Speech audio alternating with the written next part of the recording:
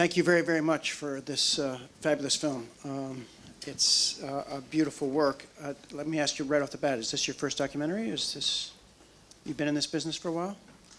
This is our third, uh, Third. feature doc. Okay. Yeah, and it took uh, seven years to make.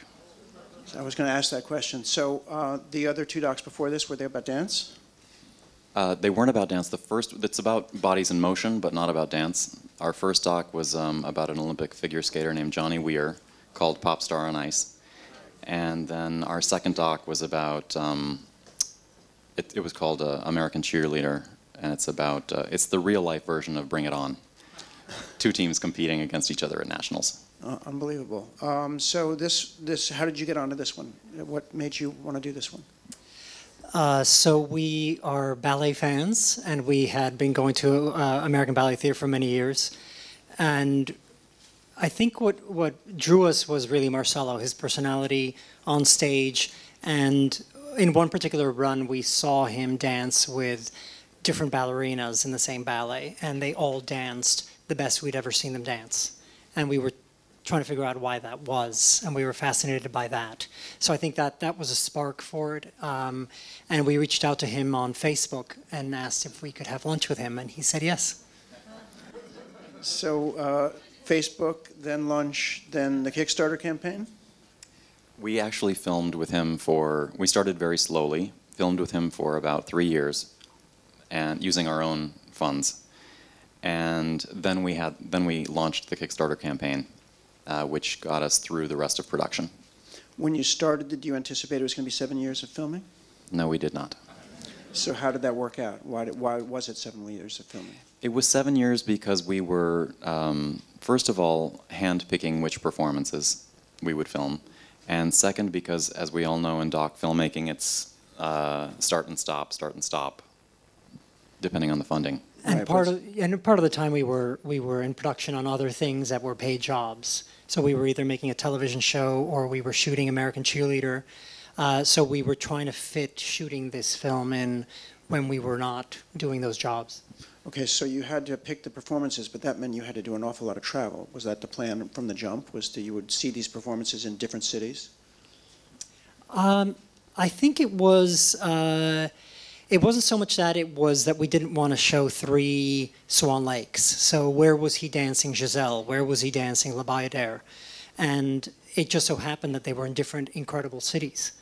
Um, so we were we were spoiled that way, and we were also able to do that because. Uh, you know, the two of us basically did everything, which meant that we didn't arrive at a theater with a crew of 10 people, and it just felt like you were overwhelming the, the you know, the staff at a theater. Uh, it also meant we had greater a greater intimacy, which I hope you feel when you see the film. You feel like you're in the dressing room with Marcelo and he's talking to you. You're in the room with him. So there's an immediacy that I think we were able to achieve because it was just the two of us, and the camera just became like something he he forgot was there in a way. Well, he was very, very natural, but everybody was in, in the piece. Um, the, the wonderful, one of the one, many wonderful things about it was the testimonials from the other ballerinas, which, um, in- addition to the instructors, his instructors through time had always talked about how, uh, the, to your point, originally was why were these ballerinas so much better? It's because he's such an amazing partner, and that's a rare gift among among. You know, you don't hear people saying that Nureyev was a great partner. You know what I mean? But he's a spectacular dancer, but also really notable for his for his, his partnering ability. So I think he really brought that out, and that goes to what you were talking about in the first place to begin with, is, which is why are they so good? Um, so uh, it, do you get to? I mean, when when he goes from these places to place, like you say, okay, he's going to be doing Bayadere in Tokyo, and then do you know at that point who his ballerina is going to be? Does he know? Usually we know ahead of time, Uh-huh. and that also made a difference because we didn't want to repeat ballerinas uh, to show our point. Right. Um, so we did know ahead of time. Um, in, in Brazil, that was uh, Dorothée was a last-minute replacement, so that was the only case where we didn't know. I just want to say very quickly what an honor it is to be here with all of you uh, at this incredibly prestigious event. I want to say thank you to Jackie, Karen, Jamie, and especially um, everyone who was involved in the festival. So thank you for having us. It's, it, it, it works both ways. It works both ways because we're really grateful to have you here I, I, I, and to make such a beautiful film. So, the storyline, of course, that starts in the beginning and has us hanging on edge the whole time is is his dad going to show up? Is his dad not going to show up? So, how hard was it to get his dad to come on camera? And, and how long ago was that when he sort of copped to the fact that he often says he's going to come and doesn't come? And he sort of threw in that little for personal reasons, and we're not sure what those are, but was it hard to get him to come on camera? Uh, actually, it wasn't hard. Um, he's very supportive of Marcelo. I think his his feeling is that that is in the past. That that um, what the way he helped Marcelo become who he is is in the past, and uh, he has a new family and.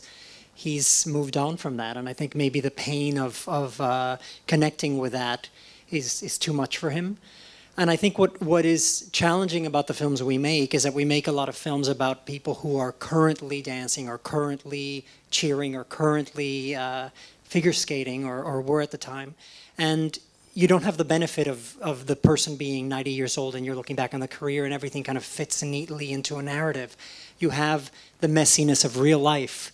There aren't, there isn't perfect closure in all of our lives. You know, there isn't always a clear answer, and I think sometimes, you know, Hollywood films will provide that, but documentaries, you know, allow for the complexity of we don't know why. And even Marcelo doesn't know why, and maybe even the father doesn't know why. He just can't bring himself to to uh, connect with the past in that way again.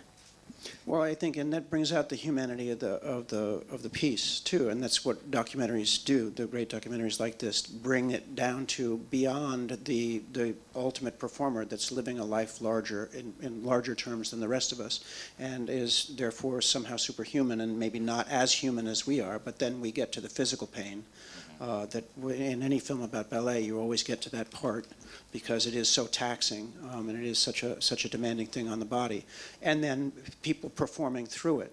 Um, Misty Copeland and uh, and uh, which we had the documentary here before last year, and uh, it's just it's kind of remarkable. And yet, beyond the, that, there's the emotional pain. What it takes to go through all this for, at age 13, not speaking the language really, and coming to Florida, and no parents, and, and probably not going home for Christmas. I mean, it's just like it's sort of incredible. And then going to and turning down the first ABT um, contract and going to Paris, but getting better and so forth. You really watched the film. Uh, yeah, we're, we're, paying attention, but I'm just saying that the, the, the, humanity of it is that you, throughout, you always feel Marcelo's pain about not having his father there, and it comes back and comes back. And when he's with his father, you can see that his father understands that to a certain degree.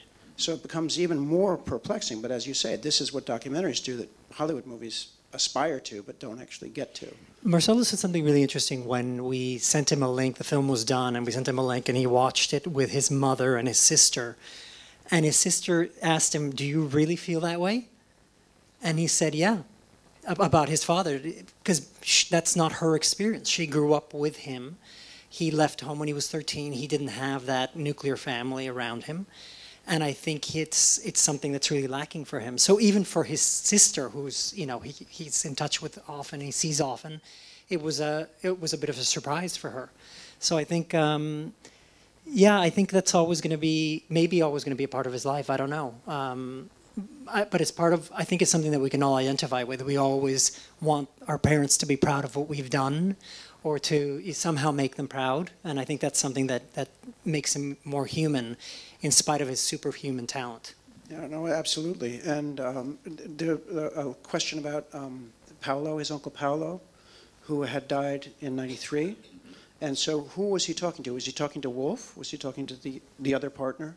Yes, he was talking to Uncle Wolf, who Uncle was the Wolf. partner of Paolo. Okay. So that that was amazing. But I think that that's another aspect I wanted to touch on because that was a, a gay couple that had reared him into ballet and other things, and his comfort with coming out as a male ballet dancer, which is like it's always the speculation, but it's never you know, and and that was an interesting aspect of that the furor that came out when an actual male, male ballet dancer copped to being you know gay. So and but he he was so natural with that that I think that was uh, that was a wonderful moment in the film when he was talking about he wasn't going to be a homosexual pirate. He was going to be you know a very straight pirate. And uh, but uh, again, it goes to um, a kind of acceptance uh, of of another another choice, whatever it is, and and his ability to it's an it's a role. I'm going to act a role, and he's obviously able to do that convincingly. And that, to me, as as an actor, um, it was really impressive that all the people that gave testimonials to him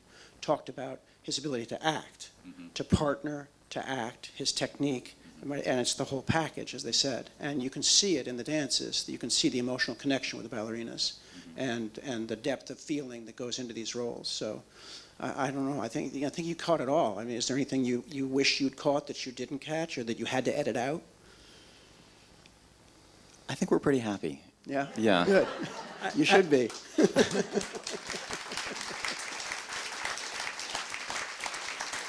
Uh, I would just say that Marcelo really is the way he is in the film. He's very natural. He's very.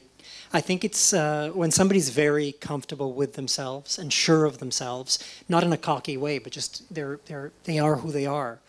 Uh, you know, you come out as gay because that's who you are. Right. What's the big deal? Uh, and he is very comfortable in his body. He's very comfortable holding a woman and making her look fantastic. Uh, there's no feeling of, of, you know, my ego is diminished because you're the star in this particular moment in the pas de deux.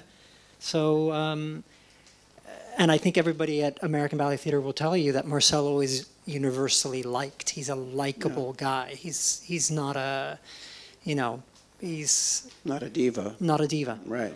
And I think that that goes to the in performance as well as as a human being is, is the way that he connects to other people. That and that's what we deal with in, in documentaries and in life and everything is, is how do we connect? And connecting in performance is one thing, and connecting on a, on a regular level. And that and that lack of connection with his father is uh, obviously all the more painful because of that.